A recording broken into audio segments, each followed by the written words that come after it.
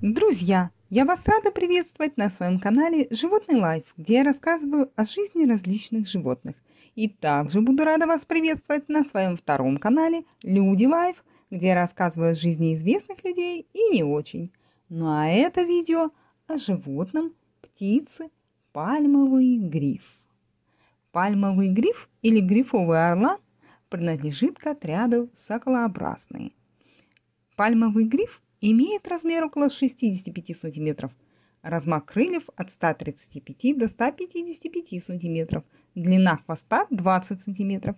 Вес хищной птицы составляет от 1361 до 1712 грамм. По внешнему виду пальмовый гриб сильно напоминает стервятника. У взрослых птиц острые длинные крылья. Я сделаю ссылочку на стервятника. Кончики больших маковых перьев черные, Такого же цвета малые маховые и плечевые перья. Хвост, за исключением окончания, тоже черный. Остальные части тела полностью белые, лицо и горло выцвевшего желтого оттенка, клюв мощный, длинный и очень узкий. Вверху он дугообразно изогнут, короткий и с тупым крючком на конце, края без зубцов. Подклювье по размерам больше и меньше по высоте, чем верхняя часть клюва на одну треть. Восковица прикрывает почти половину клюва – Носовые отверстия в виде косых широких щелей, идущих продольно. У уздечка голая. Лапы желтые с короткими пальцами на концах вооруженные не слишком большими кривыми когтями. Радужная оболочка глаза желтая. Молодые птицы имеют оперение каштанового цвета. Окончательная окраска оперения устанавливается только после 3-4 лет. Радужная оболочка глаза у молодых пальмовых грифов бурая. Пальмовый гриф распространяется по всей Западной и Центральной Африке и на юге северо-востока ЮАР. Его территория обитания охватывает побережье Африканского Габона до Намибии и далее через Анголу.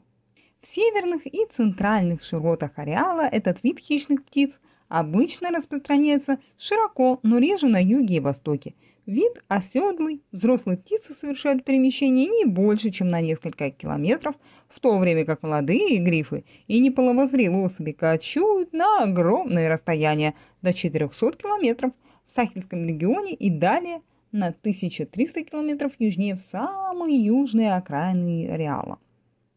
Пальмовый гриф обитает в лесах тропической зоны к югу от Сахары, в частности вдоль границы береговой линии, недалеко от рек, мангровых лесов и портов. Прежде всего он появляется в районах, где растут пальмы, плоды которых являются его основным источником питания. Наиболее удобные места для этого вида хищных птиц расположены среди болот. Заросли мангровых деревьев, местами разделенные пальмами и колючими пандантусами, привлекают пальмовых грифов.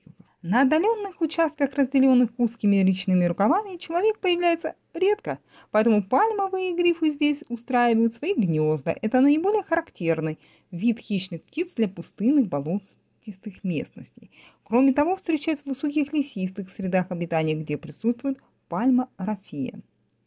Пальмовый гриф часто появляется вблизи небольших населенных пунктов и терпимо относится к человеческому присутствию. Его вертикальный диапазон распределения составляет от уровня моря до 1800 метров. Особенности поведения пальмового грифа в период размножения стервятники не посещают пальмовые рощи. Чтобы прокормить себя, они выбирают другие виды деревьев для гнездования. Однако полеты птиц в поисках плодов пальмы могут быть опасны. В этом случае они становятся прямыми конкурентами местного населения, которое иногда охотится на пальмовых грифов. Обычно хищные птицы сидят по двое или одиночки на вершине дерева, где отдыхают после приема пищи. Иногда они поднимаются высоко в воздух, то описывая круги, то снижаясь к самой поверхности воды, высматривая добычу. Сидит пальмовый гриф прямо, а его силуэт с длинным кривом и оголенной передней частью головы напоминает внешний облик королевского грифа. В полете он похож на орлана белохвоста. Способ охоты такой же, как у коршунов – в поисках добычи он пролетает над водой и, обнаружив рыбу, медленно снижается по дуговой траектории до захвата. Период размножения длится с октября по май в Западной и Центральной Африке, с мая по декабрь в Анголе, с июня по январь в Восточной Африке и с августа по январь в Южной Африке. Гнездятся птицы на высоких деревьях, гнездо имеет 60-90 см в диаметре и 30-50 см глубиной. Оно используется повторно много лет подряд. Они находятся между 6 и 27 метрами от поверхности земли в середине дерева и скрыто листьями пальмы и не висит на развилке у баба баба или на вершине молочая. Строительный материал растительный, чаще всего ветки дерева и сорванные с пальм нижние листья.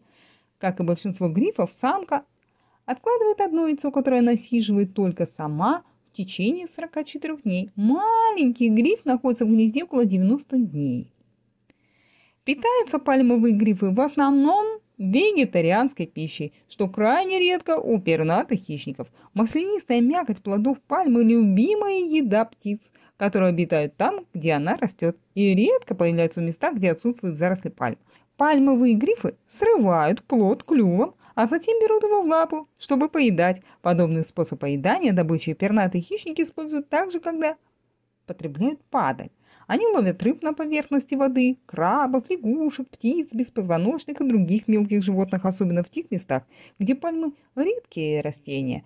Кроме плодов рафии, пальмовые грифы употребляют плоды и зерна других растений, которые в совокупности формируют до 65 пищевого рациона.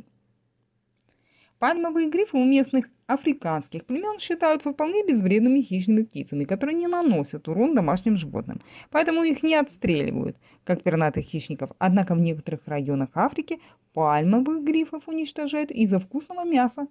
Племя Кру считает мясо пальмовых грифов довольно лаковым блюдом. Численность пальмовых грифов увеличивается в тех местах, где расширяется площадь плантации масляничной пальмы. Но в этих районах возникает ограничение для гнездования хищных птиц, так как усиливается фактор беспокойства при сборе плодов. Тем не менее, расширение пальмовых плантаций в Анголе и Зулуленде закономерно отражается на увеличении численности пальмовых грибов, но при этом усиливается определенная конкуренция за места гнездования.